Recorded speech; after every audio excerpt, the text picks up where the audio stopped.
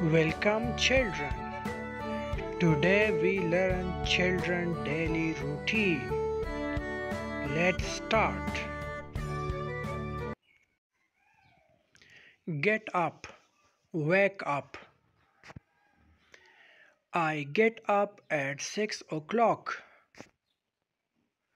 I wake up at 6 in the morning. Make bed. I make my bed every morning. Use the toilet. I use the toilet every day. Wash hands. I wash my hands after using the toilet. Take a shower. I take a shower every day. Get dressed. I get dressed before I have breakfast. Eat breakfast. I eat breakfast at 7 o'clock. Drink water. I drink 6 to 8 glasses of water every day. Take vitamins. I take vitamins every day. Brush teeth. I brush my teeth after meals. Go to school. I go to school at 7:30.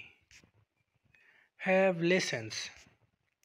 I have lessons at 8 o'clock. Have lunch. I have lunch at noon.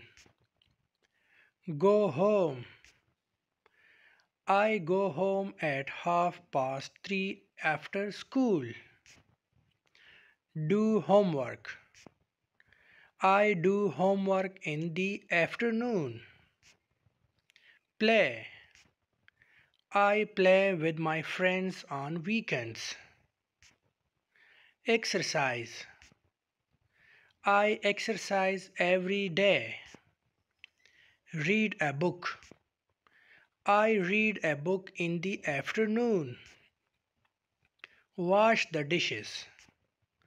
I help my mom wash the dishes.